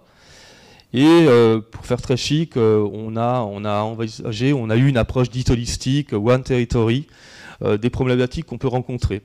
Donc, et des problématiques que rencontrent les uns et les autres et qui parfois sont similaires d'ailleurs. Et, donc les solutions qu'on peut trouver doivent se faire en partenariat dans une forme de, logique de cercle, de cercle vertueux. Euh, toujours dans la méthode, on s'est dit que l'université, euh, évidemment, dans la cité, sur son territoire, après tout, n'est qu'une partie d'un grand tout, d'un grand tout au sens territoire. là encore, ça me rappelle euh, ce que viennent de dire les deux collègues par rapport à Sergi, et avec un objectif peut-être impropre, hein, vu des collectivités locales en première garde, d'améliorer les conditions de vie des, habitants sur l'ensemble du territoire. Donc finalement, quand même, on se rapproche assez fortement de, ce que vous avez pu faire euh, sur Sergi, mais là encore, c'était à la fois de la méthode, mais aussi de la, conviction. Alors après, par rapport à un projet de ce type, dès lors qu'on avait obtenu le, résultat, c'était euh, voilà, d'élaborer des modalités de gouvernance et d'organisation donc au, service des transformations que j'évoquais, à la fois sociétales et environnementales. Alors en interne, euh, ça s'est traduit un engagement de longue date de, l'équipe politique au travers de son projet euh, stratégique initial, une vice-présidence science avec et pour la société de plein exercice, là encore de longue date, et puis effectivement l'engagement était la thématique principale du projet, je viens de le rappeler, 2024 un programme, là c'est le côté corporate, qui a été rédigé conjointement et de manière égale euh, par l'équipe politique et la direction générale des services, là encore au sens large, avec, euh, avec mes adjoints et avec tous les, directeurs des services centraux et, communs, où on a profondément inscrit le, renforcement et euh, la transformation de l'administration universitaire, ça vraiment moi j'y tenais, au service des transformations globales. Euh, c'était pas qu'un projet, ou ce n'est pas qu'un projet politique, c'est pas qu'une vision stratégique, c'est un projet qui est structurant et transformant, et pour transformer un établissement, ça passe aussi par la transformation de, je vais le dire comme ça et rapidement, de son administration. Voilà, donc on l'a vraiment introduit. On a mis en place un DG, un DGA, un directeur général des services adjoints, qui sera le directeur exécutif du, programme, et, euh, et, donc il sera entièrement dédié à la mise en œuvre euh, de, l'ensemble des actions et puis aussi de, piloter la transformation euh, organisationnelle qui est, induite. On a tablé aussi sur évidemment un engagement fort de l'ensemble des, collègues, des agents. On va y travailler assez rapidement parce qu'une fois qu'on parle d'engagement, l'engagement, c'est évidemment polysémique. Qu'est-ce que ça veut dire être engagé quand on est, euh, je vais prendre un exemple caricatural peut-être, au fin fond d'une agence comptable euh, Je regarde José en face, collègue. Ben oui, être engagé, ça peut prendre de multiples formes. Être engagé, c'est transformer sa façon de travailler, avoir une offre de service complètement revisitée aller plus vite parfois, pas toujours, et en tous les cas avoir une offre de service de, qualité. Et ça aussi, c'est de l'engagement, et on voulait absolument pas l'exclure. Hein. Donc ça, va vraiment jusqu'au plus profond. Enfin, en tous les cas, c'est l'ambition et au, point de, au point de départ. Euh, et puis aussi en interne, une direction du patrimoine et du développement durable. Sur euh, le développement durable, c'est quelque chose en devenir. En tous les cas, qu'on espère répondre aux, défis environnementaux. On en a parlé, qu'il s'agisse de rénovation, du CPR, de la gestion des déchets, des mobilités, etc. Alors, un petit focus aussi sur euh, le développement des relations partenariales et donc la dimension co-construction avec les partenaires. donc là, dans le projet, euh, comment dire, euh, dans la stratégie, euh, on a considéré que cette notion d'engagement devait être portée évidemment au plus haut niveau politique, donc à la fois par le président, les vice-présidents dédiés, et au niveau de la, direction générale des, services. On a décidé évidemment, parce que sans ressources au sens large, c'est quand même tout de même difficile, d'allouer des moyens humains et financiers extrêmement conséquents. Alors évidemment, euh, l'argent qu'on a obtenu dans le cadre du PIA va y aider. C'est environ 21 millions d'euros sur la, dizaine d'années. Voilà, donc euh, on est déjà sur une trentaine d'ETP qu'on va assez rapidement euh, tenter de, recruter et puis qui seront évidemment financés grâce au, programme. Donc ils viendront renforcer à la fois les, services support, soutien, et puis venir remplir des missions qui ne sont pas encore d'ores et déjà présentes. On va aussi répartir des, moyens financiers euh, en direction de l'ensemble des communautés, donc au travers notamment d'appels d'offres, en formation, en recherche, mais aussi euh, probablement en direction des, services centraux, services centraux et communs. Euh, tout, le monde sera, tout le monde sera éligible, mais il faut qu'on y travaille un, peu plus finement. Voilà. Alors sur les, je vais essayer d'accélérer sur les actions. donc, je, suis presque, je suis presque au bout, hein, Jean-Christophe. On va, on va travailler, comme je le disais, sur l'ensemble des, cœurs de métier de l'université. On va tenter de repenser la formation avec un objet qu'on a appelé un centre pour la réussite et le, bien-être étudiant. Euh, voilà, avec une, approche innovante de l'accompagnement des, étudiants en tenant compte de leur situation socio-psychologique, en essayant au maximum de, les impliquer. Ce sera complété par un, observatoire pardon, des, réussites étudiantes, là encore pour mieux appréhender les trajectoires de, réussite et ou d'échec d'ailleurs euh, des collègues étudiants. Focaliser, partager la recherche aussi, on va créer un observatoire de l'impact de la recherche, hein, mais pas au sens bibliométrique euh, du terme, vraiment euh, l'impact sur le territoire finalement de, l'activité de nos laboratoires et donc euh, organiser des, ateliers participatifs, euh, voilà. Euh, mener une réflexion en interne sur la manière d'évaluer et de communiquer l'impact de la recherche dite engagée. Une recherche dite engagée, c'est par exemple la recherche sur la pollution de l'air, de l'eau, et Dieu sait si ça a du sens en Ile-de-France, hein, des sujets comme ça. C'est des choses qu'on faisait avant, hein, je vous rassure, mais en tous les cas, ça prend d'autant plus de sens dans la stratégie et dans la trajectoire globale du projet. Voilà. Et puis, j'en arrive aussi au partenariat et aux communautés. On va créer euh, ce qu'on appelle un bureau de l'engagement, un bureau de la qualité. Donc le bureau de l'engagement, ce sera le point de référence pour toutes les activités euh, engageant le territoire et nos parties prenantes. Voilà. Le bureau de la qualité, ce sera euh, dans, un souci d'assurance de, la, transparence voilà, vis-à-vis des, citoyens. Euh, je ne vais pas développer plus, au-delà sur la, qualité, mais enfin en tous les cas c'est extrêmement intéressant. Et puis dernier point quand même, un appel, euh, des appels à projets annuels extrêmement importants, euh, aux alentours de 7 à 800 kg euros, voilà, et deux objets vraiment pour, pour conclure. une assemblée des partenaires qui sera un peu multi, multimodale, multiforme, qui pourra, pour Véronique, pas pour te faire plaisir, mais en tous les cas, prendre la forme d'une assemblée des étudiants, à voir sous quel format, là aussi on y réfléchit. Et puis euh, pour conclure aussi un, comité stratégique avec des personnalités euh, qu'on espère euh, voilà, drafter, comme on dit au BASEC, de très haut niveau, mais surtout des non académiques. Qu'ils soient absolument non académiques, et on a même été plus loin, c'est-à-dire qu'on a même été chercher des personnalités qui n'étaient même pas passées du tout par l'université exclusivement euh, euh, par de grandes écoles, comme on dit dans, le milieu français. Et ça, je crois que ça va être, euh, en tous les cas, ça peut être extrêmement intéressant. Donc voilà, de façon très très rapide, l'ambition du PEC en tant qu'université Presque rapide. Ah, Merci Frédéric.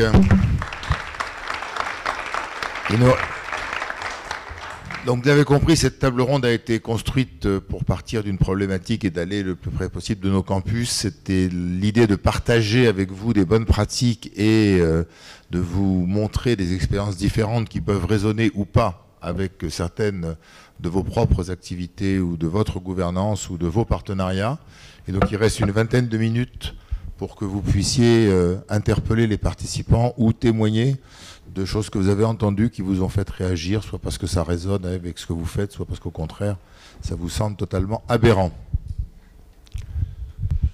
Euh, merci à tous. Valérie Wadlow, euh, déjà Picardie. Alors, euh, d'abord, bravo parce que nous, on est très, très en retard par rapport à tous vos témoignages. Donc, je viens prendre des leçons. Mais ça me questionne aussi. vous avez bien souligné la, dimension transversale de, ces démarches et de ces sujets. il a été rappelé que l'université fonctionne énormément en, en, silo. Il me semble, en tout cas, moi, c'est ce que j'observe dans mon environnement, que, euh, comme on fonctionne de plus en plus sous contrainte, les phénomènes de silos s'accentuent au lieu de s'atténuer avec le temps, parce que, parce que faire de la transversalité, ça nécessite, euh, euh, ça nécessite du temps. Vous avez aussi pointé les, la, difficulté entre la nécessité de se projeter dans une pluriannualité qui est absolument pas à l'échelle du temps étudiant. et donc face à tout ça, la question que j'ai envie de vous poser, c'est comment euh, comment vous arrivez, alors vous avez donné des pistes, mais si vous pouvez revenir un peu là-dessus, à, échapper au fait que euh, cette problématique, euh, comme les autres, et face au fait que les autres justement fonctionnent en silo, comment on fait pour qu'elle ne se replie pas sur elle-même et qu'elle ne se renferme pas sur des actions ciblées? Les actions ciblées, elles sont nécessaires, mais il me semble que le, principal enjeu, il est sur euh, comment on fait évoluer les pratiques, comment on évalue l'ensemble de nos politiques. C'est-à-dire pas seulement les actions spécifiques sur ces thématiques. Et est-ce que, par exemple, vous avez des, outils, ou comme on peut le faire dans certains établissements ou dans les collectivités, où chaque dossier, avant d'arriver sur un bureau, euh, un visa euh, du VP Finance sur les impacts financiers Est-ce que ben il y a un visa euh, sur euh, l'impact sur euh, ces dimensions de transition écologique au sens large, en tout cas développement durable et, responsabilité sociétale? Donc voilà, concrètement, comment on arrive? Dans, dans, les difficultés actuelles, notre manière de travailler qui est de plus en plus dure, qui nous renferme tous sur nos problématiques, on n'arrive déjà pas à faire le minimum de son périmètre, à faire intégrer ces dimensions-là, aussi bien sur le plan euh, politique, dans, les décisions politiques qui sont prises dans les bureaux, puis ensuite euh, euh, dans, sa déclinaison côté direction générale des services. Alors qui veut s'y coller là? Je veux bien. Valérie. Je veux bien, démarrer, Valérie. Non, non, je veux bien démarrer. comment on fait? Déjà, enfin, on donnera aussi la parole à Benoît parce que c'est quand même le politique de la bande, donc euh, un, un politique, ce sera pas mal. Me semble-t-il, euh, justement, euh, il faut déjà qu'il y ait un portage politique, enfin, le plus fort possible et au meilleur niveau, comme on dit.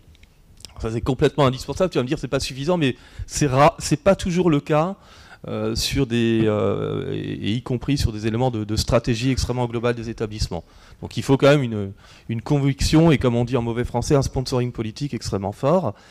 Euh, pour qu'on y arrive aussi, il faut, euh, je trouve que ça a été intéressant, là, notamment dans l'exemple euh, que je citais chez moi, arriver à faire adhérer les gens, c'est-à-dire à faire co-construire, à les faire participer, vraiment les faire participer. Donc des enseignants, on a essayé de mixer des enseignants, des enseignants-chercheurs, des chercheurs même d'ailleurs de PST, des personnels administratifs et techniques. Parfois, j'avoue que les groupes c'était un peu baroque. Hein.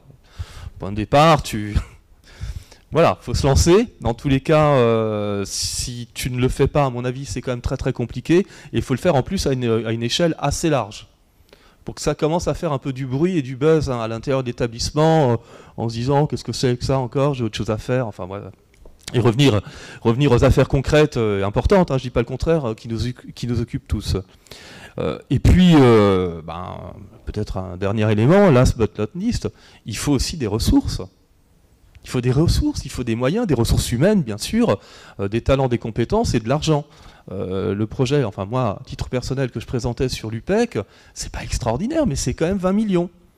C'est 20 millions de bonus. Faites-vous plaisir.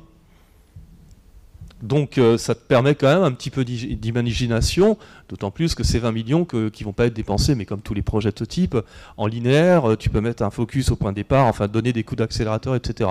Enfin moi je pense qu'il faut à minima ces éléments-là, donc euh, premiers éléments de réponse.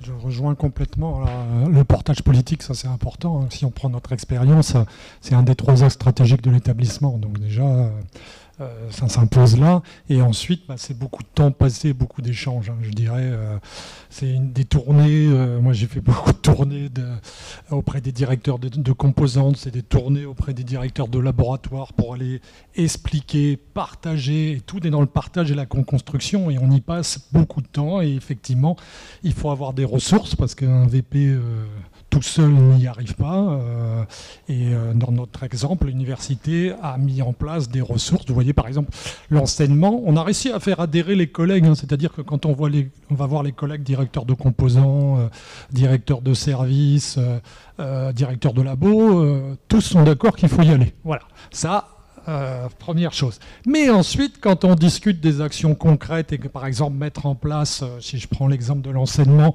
oui, il va nous falloir des heures pour mettre ça en place, ça c'est autre chose. Euh, je ne vous cache pas qu'avec certaines composantes, même il a fallu, ça venait à un moment donné trop d'en haut. Voilà. Et il a fallu même aller déminer certaines fois, mais quand on, quand on prend le temps d'aller expliquer aux gens, on arrive à, les emmener dans la, direction aussi où on veut aller, en construisant bien évidemment, mais c'est vraiment beaucoup de temps. Moi, dans mon cas, euh, bah, il est prévu qu'on mette en place aussi trois chargés de mission dans nos champs euh, pour m'aider aussi euh, à, ces échanges-là, parce que euh, tout passe par l'échange et on doit vraiment... et, c'est en interne, mais aussi c'est à l'extérieur, parce que le travail, un gros travail de lobby à l'extérieur. Alors nous, on a eu la chance aussi, vous voyez, c'est qu'on a des partenariats forts avec la région et la, la métropole. On travaille vraiment main dans la main parce qu'on a construit ensemble notamment le GIEC, parce que notre coloration, c'est changement climatique, atténuation, adaptation, et ça, ça a été important, puisqu'on a des soutiens en, direct, c'est-à-dire dans nos réunions de travail, le président de région est là, les présidents de la métropole sont là dans nos réunions de travail. Donc ça aide à la co-construction avec euh, les services de l'université et les services de la métropole et de la région. Mais là aussi, ça a été un long travail d'échange et de lobbying auprès des collectivités, et aussi il y a les entreprises qui y viennent euh, également. Donc c'est beaucoup de temps passé d'échange. Oui. Euh, je, peux. Attends, je regarde s'il y a d'autres questions d'abord. Oui, il y a des questions. On va partager. Je... Les collègues parler.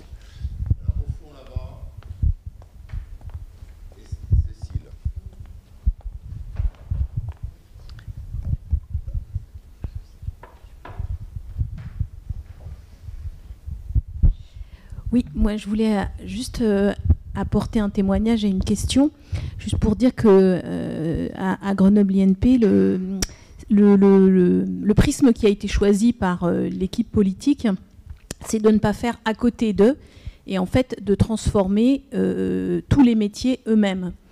Du coup, c'est beaucoup plus long, certainement, mais donc par exemple, il n'y a pas de service de développement durable ou autre. Et bon, par exemple, Isabella qui est là derrière, on travaille directement euh, ensemble. Et en fait, l'idée, c'est d'insuffler dans chaque métier euh, cette prise en compte, donc euh, dans les instances habituelles de la formation, dans les instances habituelles de la recherche, dans les instances habituelles de la vie étudiante et dans tous les services de la même manière. Et euh, donc, ça veut dire vraiment se transformer de l'intérieur en prenant en compte cette dimension et en transformant euh, ben, les métiers et les façons de faire. Donc, c'est beaucoup plus long, euh, certainement. Ça, c'est du coup peut-être moins visible tout de suite et ça demande effectivement un engagement fort de l'équipe politique. Et je dirais que nous, un petit peu la difficulté qu'on rencontre, c'est face à toutes les injonctions qu'on a ou les demandes de transformation, elles vont pas toujours dans ce sens-là. Euh, je sais pas, je vais prendre euh, un exemple. Euh, les ressources humaines aujourd'hui, elles sont très mobilisées par beaucoup beaucoup de sujets et, ben intégrer dans le métier ressources humaines toute cette dimension développement du, enfin toute cette dimension de transformation vers les transitions sans, par rapport à toutes les, demandes qu'on peut avoir par ailleurs, eh ben c'est ça qui est un petit peu difficile, c'est-à-dire qu'en termes de, charge ou de priorité, parfois on perd un petit peu le cap. Voilà, donc euh, moi je me, demandais ce que, voilà, ce que vous pensiez de cette transformation par l'intérieur, à partir des institutions existantes et pas forcément euh, à côté. Voilà. Une transformation par l'intérieur, c'est essentiel, mais il faut quand même un accompagnement euh, vous voyez, euh, comment on peut faire une transformation euh, de l'intérieur de nos métiers si on n'a pas, par exemple, moi j'ai du mal à imaginer si on n'a pas un service commun qui, qui est compétent sur le sujet et qui accompagne l'ensemble des personnels pour cette transformation-là. Mais bon. Ah je suis à 100% d'accord. Hein. La phrase qu'on ressort absolument à toutes les réunions, c'est que on ne fait pas à côté ou en plus, toute euh, action à côté ou en plus, et on sort son revolver. C'est-à-dire le sujet, c'est de faire autrement tout ce que l'on fait déjà. Mais euh, je partage aussi le fait que pour faire ça, euh, il faut notamment pour les enseignants des, ressources d'accompagnement et que pour certains métiers, c'est, enfin voilà, l'un et, pas forcément va pas forcément sans l'autre, mais on partage à un million de pourcents, bien entendu. Quelqu'un veut d'autre Non. Je me permets juste, tu veux, vas-y non, un, petit peu dans le même esprit, euh, on a quand même effectivement des, leviers, des ressources chez chacun. Quoi, et, euh, c'est toujours, enfin, quelqu'un qui est vraiment rétif à ça, honnêtement, c'est toujours très compliqué de l'amener ailleurs.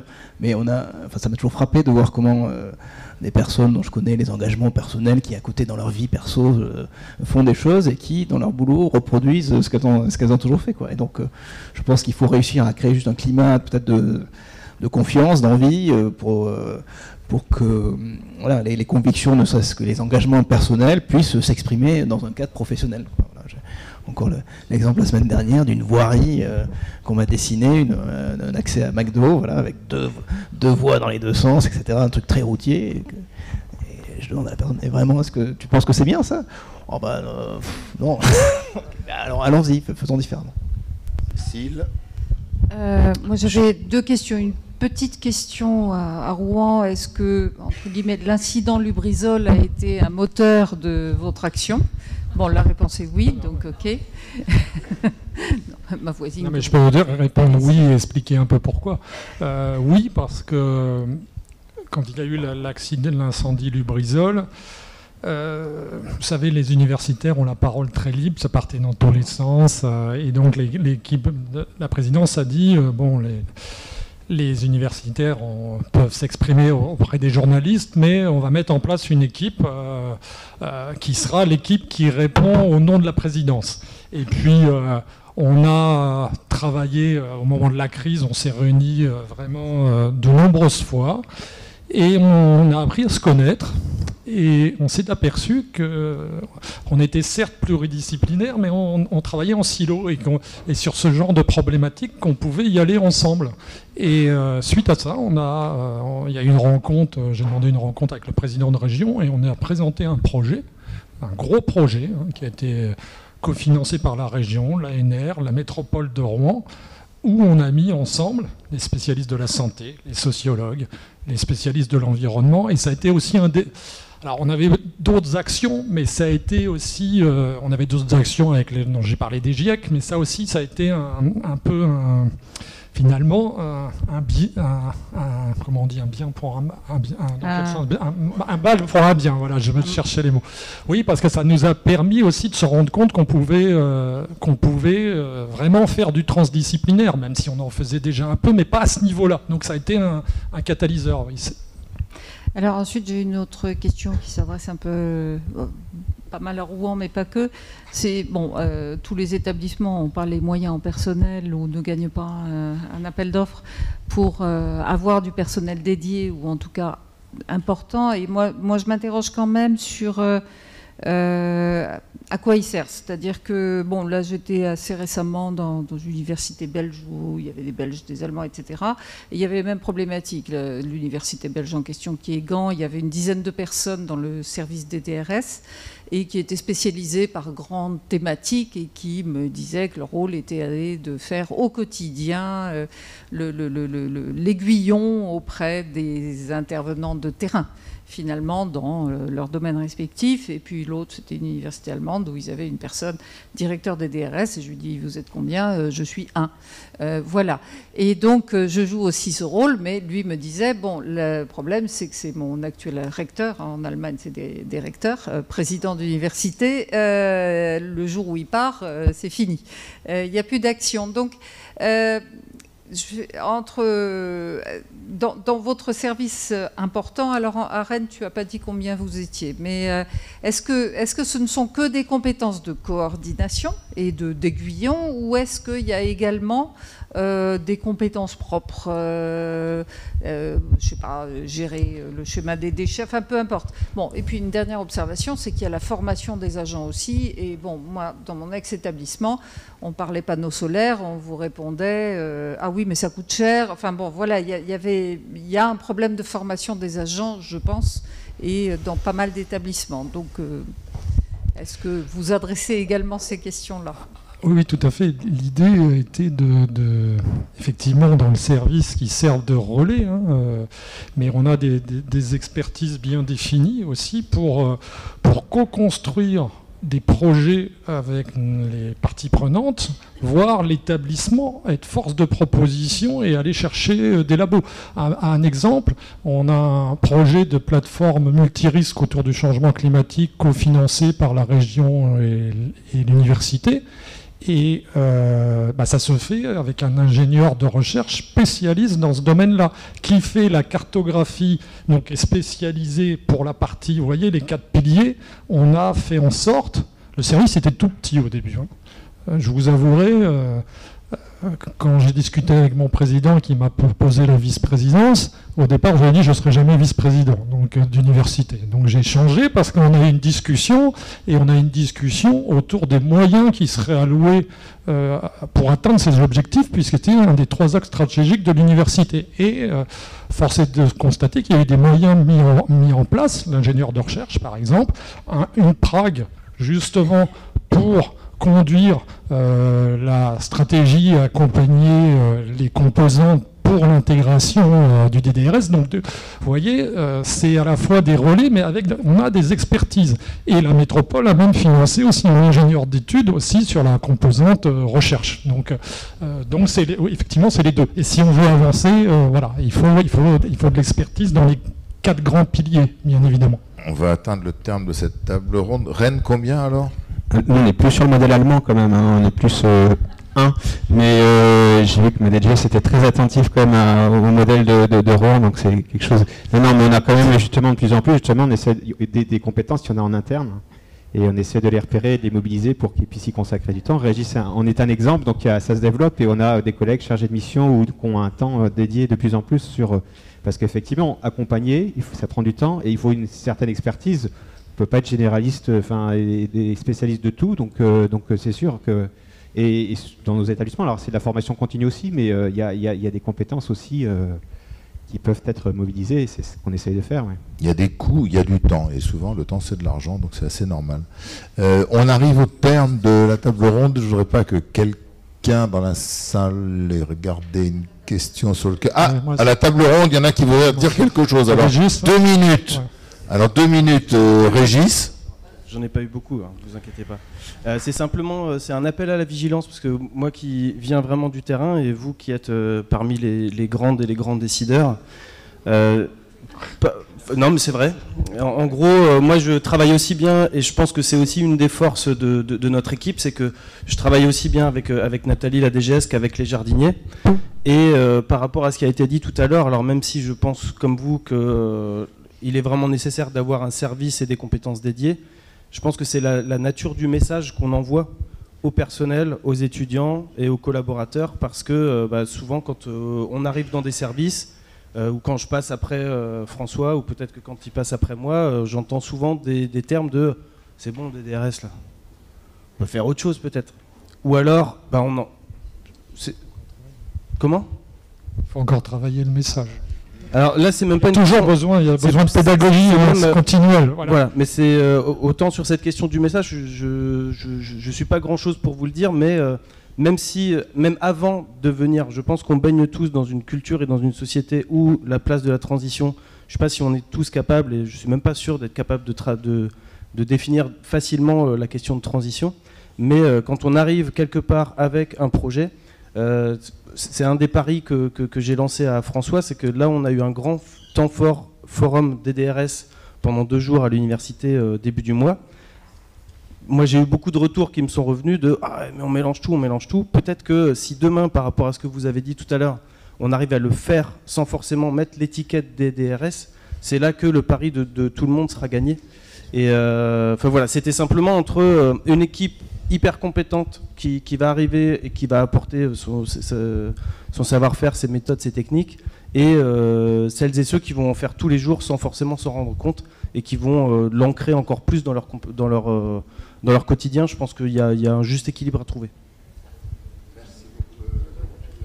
Juste un mot, même quand il n'y a pas de portage politique, aucun, on a quand même de la latitude en tant que DGS. Notre rôle, je rappelle, notre fonction constitutionnelle, c'est d'éclairer la décision politique et deux, de mettre en œuvre les projets politiques dans le cadre des obligations euh, de la France. Et les obligations de la France, elles sont légales, mais c'est aussi la Convention des accords de Paris. Donc même si on a des présidences contre, admettons, le pire, on a une immense latitude qui est un devoir. Euh, notre statut euh, nous protège pour ça. Et dans le cadre de nos entretiens annuels, des contrats d'objectifs et de moyens avec nos directions, etc. Alors pas forcément évidemment sur l'enseignement et la, et la recherche, mais on a une immense latitude pour obliger, enfin obliger, donner envie, etc., etc., l'ensemble de, de, nos équipes pour le faire. Donc moi j'ai beaucoup de mal à entendre que, évidemment c'est essentiel le portage politique pour aller plus loin, mais on a quand même un immense et un devoir d'agir, même quand on n'a aucun portage politique.